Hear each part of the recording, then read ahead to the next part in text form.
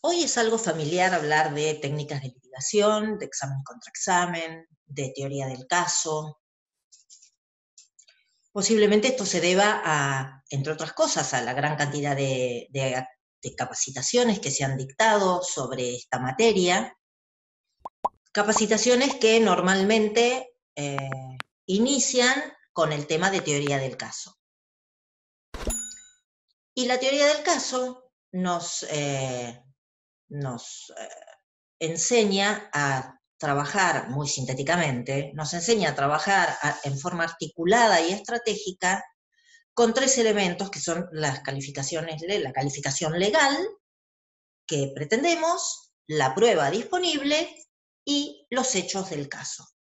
Y es justamente sobre los hechos del caso, sobre la capacidad para su correcta y oportuna identificación, la capacidad para diferenciarlo de otro tipo de enunciados, sobre lo que vamos a trabajar en el presente tutorial. Eh, porque, ¿Por qué? Bueno, porque básicamente este, hemos detectado que identificar hechos del caso, los hechos del caso, y enunciarlos en términos de hechos, eh, no es una tarea tan sencilla como la que uno puede presuponer.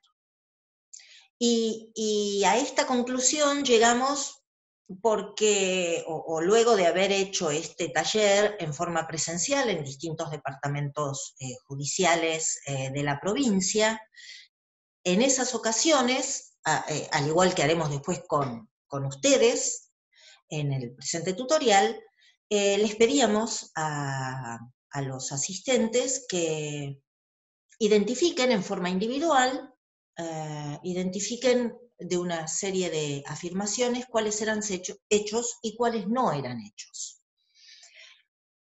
Bueno, las respuestas que obteníamos a este ejercicio eran bien disímiles por parte de los operadores. Lo que para uno era un hecho, para otros no, lo que para uno era una conclusión, para otro era un hecho, en fin. Eh, nos pareció entonces eh, oportuno eh, convertir esta actividad en un tutorial que pueda hacerse extensivo a los restantes departamentos judiciales, dado que eh, ahora y dadas las condiciones no podemos seguir con la actividad presencial. Desde ya esta actividad está destinada a todos los que trabajan con, las causas, eh, desde las unidades fiscales y las unidades de defensa, desde los titulares a los colaboradores, es decir, todo el personal que desde el momento en que una causa se inicia hasta que termina, participan en el desarrollo de la misma. Eh, vamos a iniciar el, tema viendo un breve video de Martín Sabelli, que en pocos minutos nos ilustra sobre la importancia de trabajar correctamente con los hechos del caso. Bien, los invitamos a ver el video y luego Continuamos.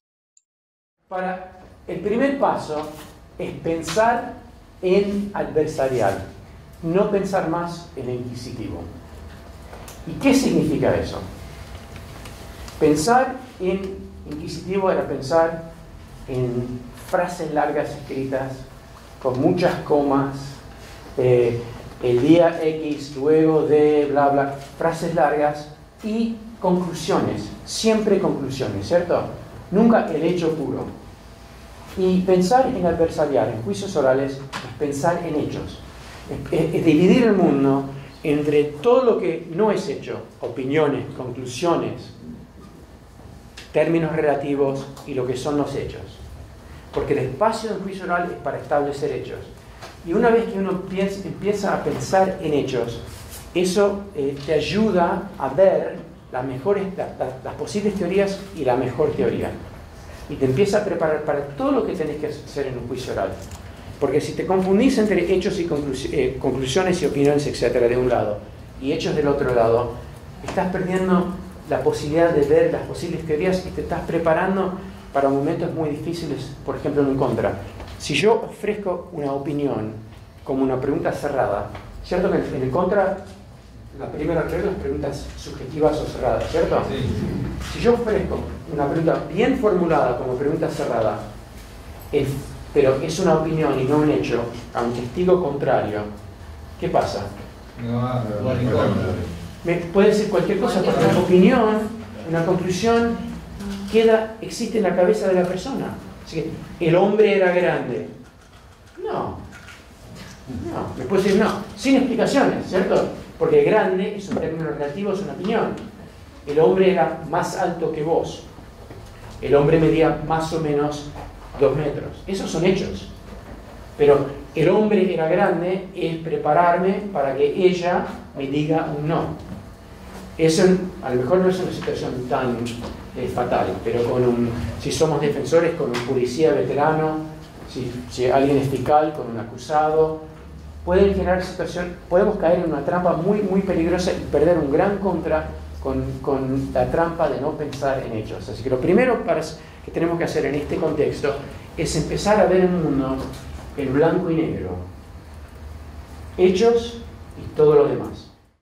Bien, tal como dice Sabeli, se trata entonces de eh, diferenciar hechos de todo lo demás. De manera que eh, les proponemos ahora un ejercicio a modo de autodiagnóstico que justamente va a tener esta consigna, que identifiquen los hechos que aparecen enunciados en un listado de afirmaciones. A continuación, va a aparecer una placa con estas afirmaciones y les pedimos que ustedes anoten eh, cuáles de todas esas afirmaciones son efectivamente hechos.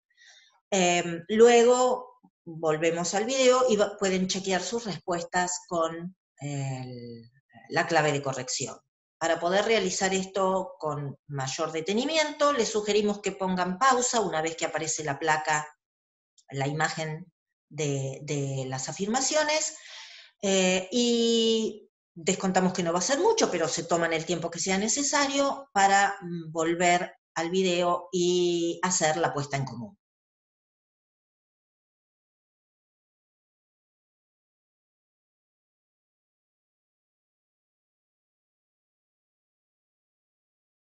Bien, aquí a mi lado aparece la clave de corrección. Eh, posiblemente, como nos pasaba en los cursos presenciales, este, no haya una coincidencia plena con sus este, respuestas.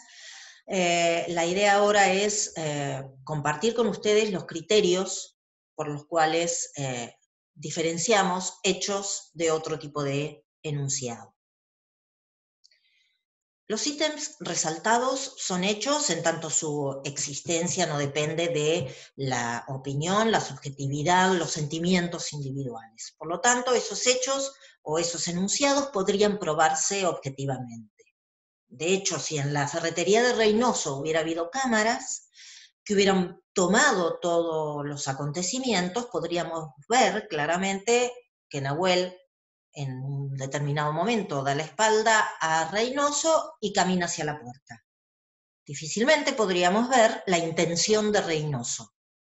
La intención de matarlo eh, es algo que vamos a tener que concluir una vez que probemos determinados este, hechos que dan cuenta de esa intención. Y de hecho, siguiendo las técnicas de litigación, la intención de matar va a ser una conclusión que vamos a dejar para el alegato final.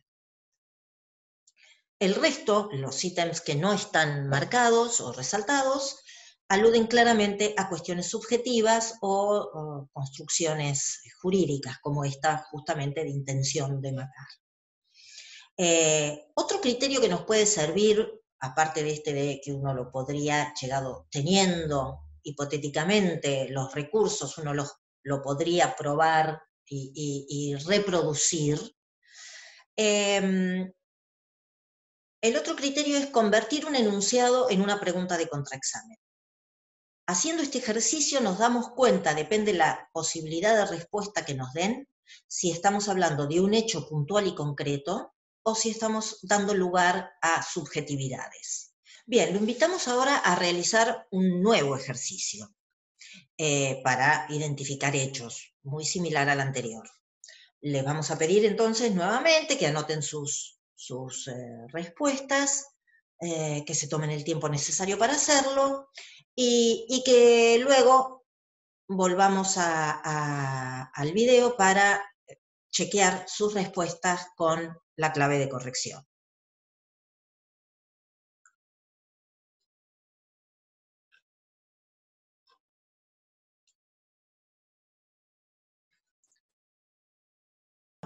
Fíjense que los ítems que están resaltados son los que identificamos como hechos.